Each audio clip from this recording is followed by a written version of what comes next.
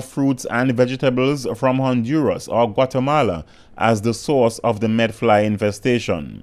As part of the quarantine, a 24 hour checkpoint has also been implemented on the main road to the south.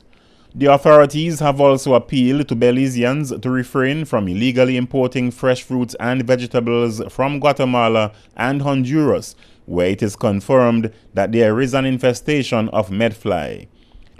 The medfly could seriously impact Belize's ability to export to several markets, including the United States, and could result in the loss of millions of dollars.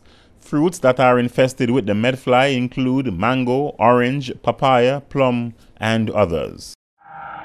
The Caribbean's lionfish problem will not get better without vigilant management of the species, according to a new study from researchers at the University of North Carolina at Chapel Hill. While the origin of the species is debated, some point to a Miami aquarium damaged by Hurricane Andrew in 1992, the red lionfish, which is native to the Indo-Pacific region, have become a terrorizing force for Caribbean marine species.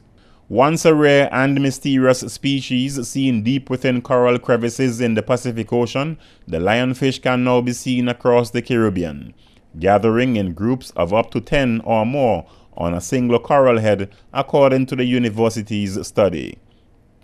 The team looked at 71 reefs across the Caribbean over a three year period, finding that native predators do not influence the number of lionfish in a given area. According to the study, the solution for controlling them will simply be to fish them.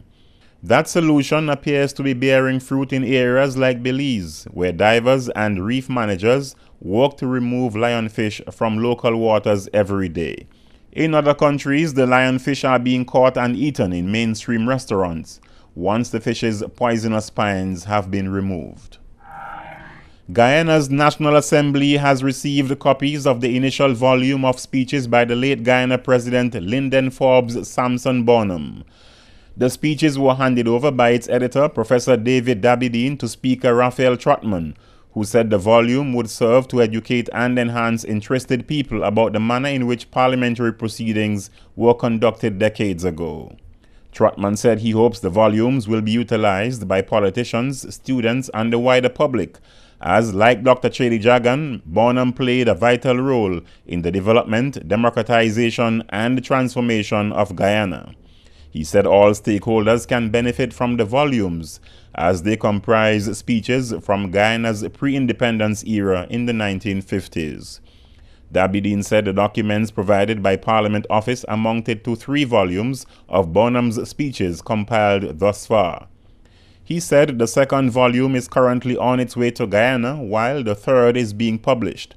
The publication is a result of a resolution passed by the National Assembly in 2007 mandating the government to designate a state institution to be responsible for historical research and documentation and to chronicle and archive all of the works of each president of Guyana for the benefit of future generations.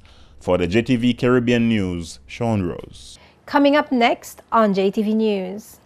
The Complaints Commission investigation on the granting of certificates of residence, subtitled Game of Chance, reveal astounding findings. Cultural leaders speak of a unique Virgin Islands Emancipation Festival. JTV Youth Media reports on a basketball camp where youth get advice from NBA player and coach. Celebration for BVI girls silver medal relay team upon their return to the BVI. And Summer Sizzle Global Glamour Runway Show features eye-catching collections.